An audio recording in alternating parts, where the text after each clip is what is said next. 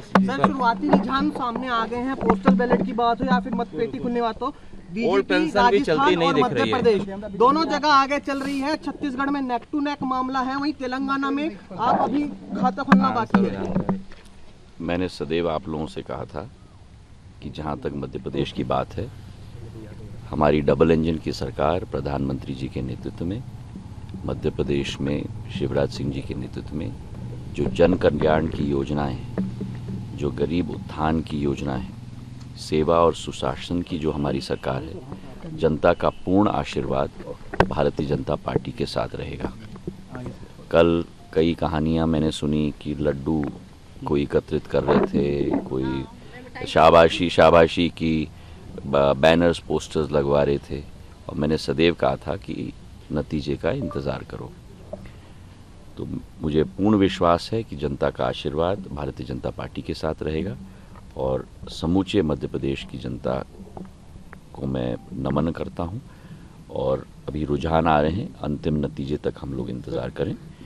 पर मुझे पूरा विश्वास है कि भारतीय जनता पार्टी की सरकार बहुमत नहीं लेकिन पूर्ण बहुमत के साथ बनेगी। ओल्ड पेंशन ओल्ड पेंशन भी नहीं चला सर लाडली बहना का कमाल कहेंगे कैसे अब मैंने आपको सदैव कहा मैं ज्योतिष नहीं हूँ तो मैं कब मैंने कहा है बहुमत नहीं पूर्ण संपूर्ण बहुमत के साथ सरकार क्या कारण मानते हैं? जनता का इतना समर्थन मिला है क्या वजह है? मैंने यही कहा कि हमारी डबल इंजन की सरकार प्रधानमंत्री जी का नेतृत्व प्रदेश में हमारी जन कल्याणकारी योजनाएँ इन सभी के आधार पर हमारा जनता के साथ एक व्यक्तिगत और हृदय का संबंध सुशासन की सरकार यही कारण है मुझे पूर्ण विश्वास है कि पूर्ण दिग्विजय सिंह दो दिन से आप अटैक कर रहे हैं। कल भी उन्होंने कहा आज भी कहा कि उनके- हमारे पास इंडिया जैसे नहीं है हमारी कांग्रेस उनके- नहीं टूटेगी हाँ। नहीं होगी। उनके उनके उनके उनके उनके हर एक बद दुआ का मैं स्वागत करता हूँ।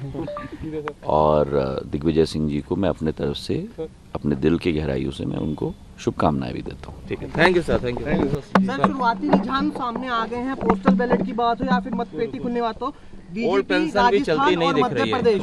दोनों जगह आगे चल रही है। छत्तीसगढ़ में नेक टू नेक मामला है। वहीं तेलंगाना में आप अभी खाता खोलना बाकी है।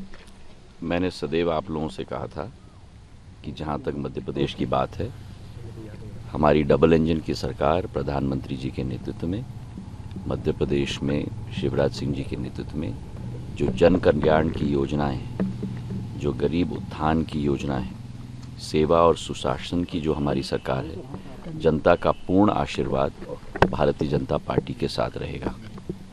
कल कई कहानियाँ मैंने सुनी कि लड्डू कोई एकत्रित कर रहे थे, कोई शाबाशी शाबाशी की बैनर्स पोस्टर्स लगवा रहे थे। और मैंने सदैव कहा था कि नतीजे का इंतज़ार करो।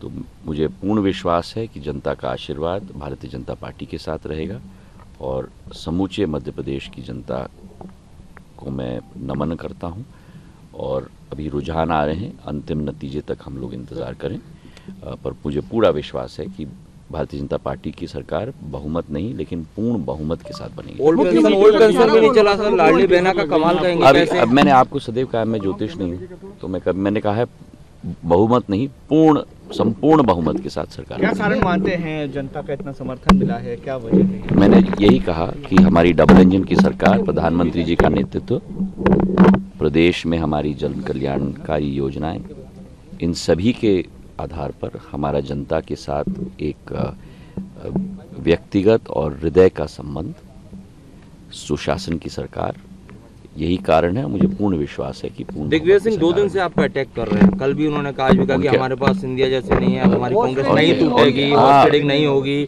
उनके उनके उनके उनके उनके हर एक बद का मैं स्वागत करता हूँ। और दिग्विजय सिंह जी को मैं अपने तरफ़ से, अपने दिल की गहराइयों से मैं उनको शुभकामनाएँ भी देता हूँ। ठीक है। Thank you sir thank you